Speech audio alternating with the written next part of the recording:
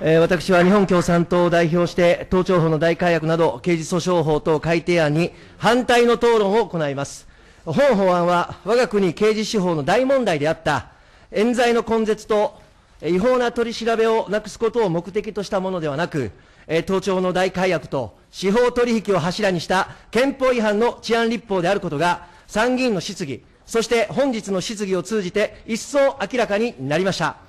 えー衆参の参考人として出席した深川事件冤罪被害者の櫻井昌司さんは、私たち国民がどれだけ冤罪に苦しんだら、冤罪をなくす法律を作ってくださるのでしょうかと、涙ながらに訴えました。これは国民の怒りに背を向け、成立を図ろうなど断じて許されるものではありません。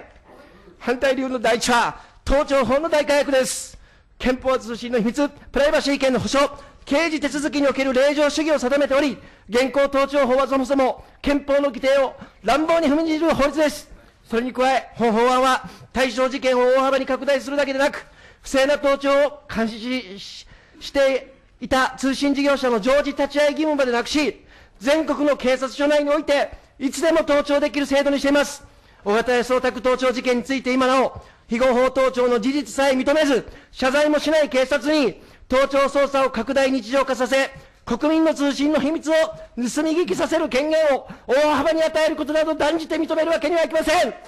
第二に、取り調べの部分的な録音録画の危険性です。可視化の対象にならない別件で逮捕された場合、起訴後交留中の可視化対象事件の取り調べや任意同行の下での取り調べは、録音録画の義務とならないことが、法務省答弁で判明しました。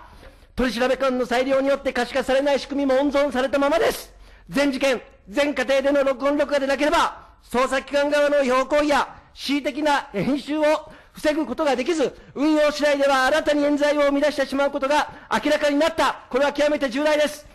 最後の理由は、自らの罪を免れるために、他人を罪に陥れ、引っ張り込む危険を本質的に持っている司法取引を盛り込んでいることです。密告者の氏名、住所、公判においても、相手側弁護人に隠し、防御源を侵害し得る仕組みを新たに判明しました。冤罪被害を大量に生み出してきたアメリカの経験に全く学ばない姿勢は、衆議院における参考人から、愚の骨頂と痛烈に批判されたように、許し難いものだと言わなければなりません。最後に申し上げます。本法案が衆議院に提出された昨年3月以降、冤罪被害者をはじめ、